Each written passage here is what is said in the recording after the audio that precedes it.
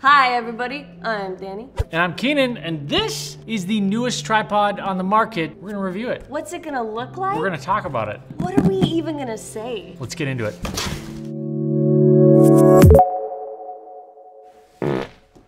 Well, this case is familiar. This is very familiar. We are very familiar with Benro. We have lots of Benro stuff. We found out about this before uh, quite a few people because we were trying to buy the old models of the BVX Cinema series because we needed another one. And it was discontinued. It was done. They said, we have no more anywhere. We said, well, what's Why? the deal? Why? How's that possible? And they said, there's another one coming out. And we said, And they said, it's gonna be a while. And we said, okay, we'll be patient. And we waited a while. So now we have it, and we are very excited about this because we have loved the other Benro tripods that we have. Uh, let's bust it out of the case. We'll show you what we're working with. Ooh, one friend there. This is the Benro BVX 18. It touts a 39.6 load capacity. They have updated the pan and tilt dampening, steps to the counterbalance. We've got a new sliding quick release camera plate and a super durable carbon fiber construction. Previously, Benro had two tripods in their cinema line, the BVX 16 and the BVX 25, at two different weight capacities. They decided to put one uh, relatively in the middle that would handle most everybody's needs. Ideal for teleprompter, ideal for uh, camera rigs with big, big lenses. That's what their cinema series is all about. And at 40 pounds, that's a pretty serious camera package uh, that you're putting on it. And let's jump into everything that we get in the bag first. We get replacement feet. We get tools to tighten all things on the tripod. Two. There's a little zipper in this bag as well. This is a medium height spreader. Clicks right in there. One handle. And then another handle Another if you're feeling so inclined. Keenan, guess what this is? Love handles. Instead of the blue that is on a lot of the Benro stuff, they moved to a, a really, really sleek silver. Hi, everybody. Welcome to Threefold ASMR. Is it working? Do we have thousands of subscribers. Are you subscribers? getting the tingles? A minimum height of, 25 of inches. not fitting on the table. Mm-hmm. And then a maximum height of 68 inches. 68? Says 66.5. Oh, see, right here. No, the old one is 71. You're right. You were right. Between 66 and a half and uh, 68.1. Depends on which website you read. The best way we can kind of show you guys this, we want to do a comparison of the old BVX 25 that we do have that has been an absolute workhorse for us. And uh, let's show you what we're working with. This is basically like the new iPhone model, you know? I can already tell it is heavier. Bring the new case over. In no way, shape, or form has the case been updated. And it didn't need to be. The only difference being this handle is much more worn. There we go. Perfect. This is the Benro BVX 25. Obviously much bigger. This has a 40 pound weight capacity. This has a 50 pound weight capacity. It almost like doubles in size. So this is 17-ish pounds when carrying it. This is 23-ish pounds. Five pounds makes a big difference. All of it probably right in that gigantic head at the top. Actually, yeah, and that's probably why this feels so much easier to carry. It's not top heavy. It's not going ooh, ooh, Yep. ooh when you're carrying it around the case. Let's give you a side-by-side comparison, what changed, what didn't, upgrades, downgrades. Feet. The feet did not change. Identical. Look at that.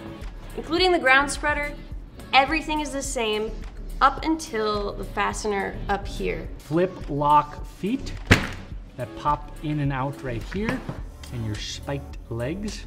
These fasteners are the same too.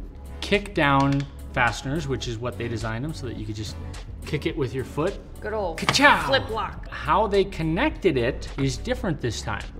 Instead of a single point connection, which reaches to a single point in the middle, there's two little U hooks uh, and then four connectors in the back. It must be stronger. It has to be. Since it's a fusion of the 16 and the 25, Yep.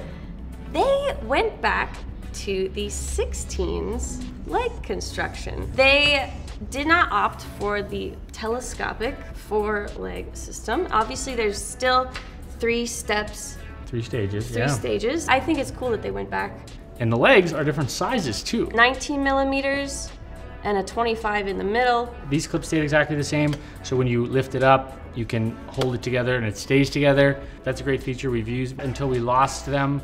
You know, it'd be great if there was like a permanent solution, but then that permanent solution would be permanently in the way. I'm not sure I have a better alternative for them at this point, so. Daddy Benro will think of something one day. She exclusively calls him Daddy Benro. Sometimes I want to see the data. Sometimes I want to see the test center. Like, did they drop this off a building? I want to see the test footage. Moving all the way up to the top at the head, uh, many things stayed the same.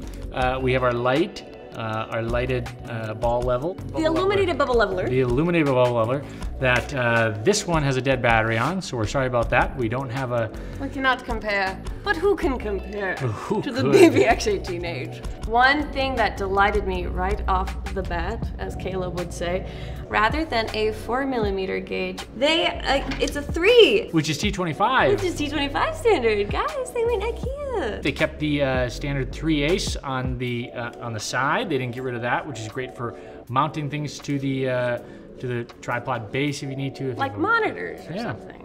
In the back, we have a, a few changes. Uh, we have an eight-step counterbalance here and a 16-step counterbalance on the BVX25.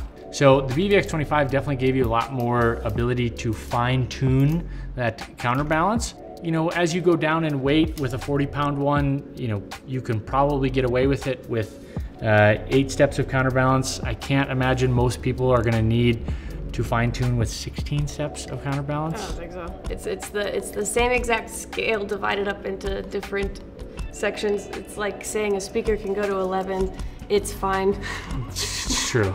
Uh, right here, uh, silver. That's for the plate moving back and forth. In this one, they went for red, which was always strange because uh, uh, all the other aluminum things, like this handle or this little knob, and then this one, were black.